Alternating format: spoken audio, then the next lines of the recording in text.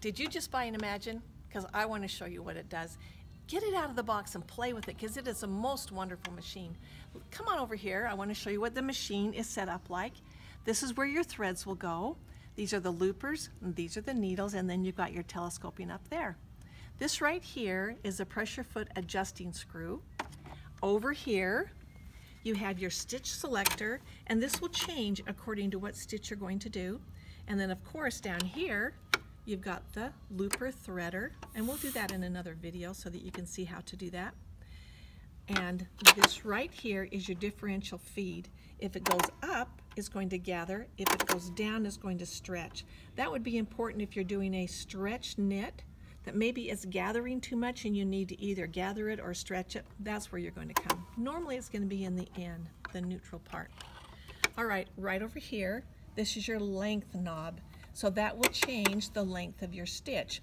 Or you'll notice right here we have a gray area. That is your rolled edge area. And your stitching selector will tell you how to put that in there. This is your width knob. There's a couple ways I want you to remember this.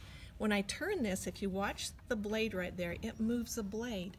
So it's going to affect the width of the stitch. But a lot of people like to remember that by calling it the widow knob. It's the widow knob that does the width. But there you go. And right here is your blade up or down. So it's locked down and then it goes up.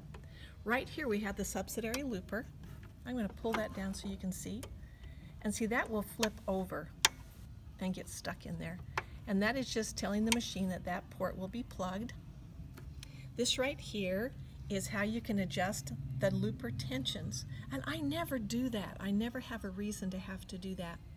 And then right over here, this is the needle threader, and I'll have my needle up where they're going to be threaded. This will come down and thread the needle for you. So that's the parts of your machine. So next time we'll talk about threading the machine.